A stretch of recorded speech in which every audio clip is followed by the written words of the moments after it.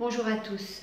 J'ai déjà fait plusieurs vidéos sur les manipulateurs, sur la manipulation et je vois que c'est des sujets qui vous intéressent, qui amènent des commentaires, qui amènent des témoignages. Donc je vais refaire des vidéos dans ce contexte-là. Et aujourd'hui, ce qui me tenait vraiment à cœur, c'était d'attirer votre attention sur le fait suivant. C'est que si vous êtes victime de manipulation ou de harcèlement, c'est que à un niveau sans doute inconscient, vous donnez la permission, vous autorisez le manipulateur à exercer un pouvoir sur vous.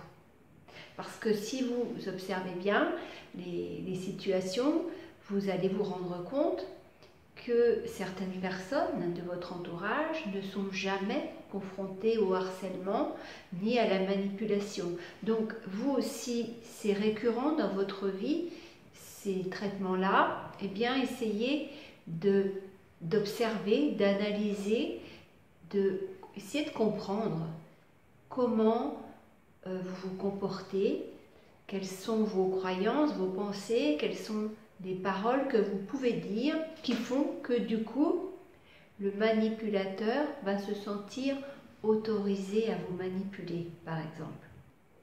Je vous rappelle ce triangle infernal hein, qui est bourreau, victime, sauveur.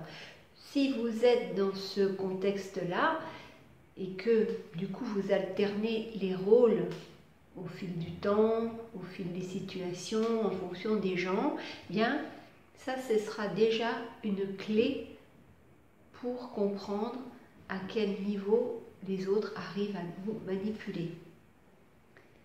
Moi je l'ai été moi-même hein, pendant longtemps, j'étais sauveur, je voulais sauver la terre entière. Donc tant qu'on est dans cette situation, on va rencontrer des gens qui seront victimes. Et du coup, le triangle se met en route. Une fois c'est vous qui êtes victime, une autre fois vous êtes bourreau, une autre fois vous êtes sauveur, et l'autre fait aussi ce même schéma. Et tant qu'on joue, eh bien, le jeu perdure et les maltraitances continuent. Voilà, j'attends des témoignages si vous en avez à ce sujet, si vous avez compris certains mécanismes de manipulation quand vous en étiez l'objet notamment. J'attends aussi des questions auxquelles je répondrai évidemment. Je vous invite à aimer ma page Facebook Motivation Positive, à vous abonner à ma chaîne YouTube, à visiter le blog des audacieux http www.motivationpositive.com. Et puis comme d'habitude, je vous dis, prenez soin de vous et je vous salue. Au revoir.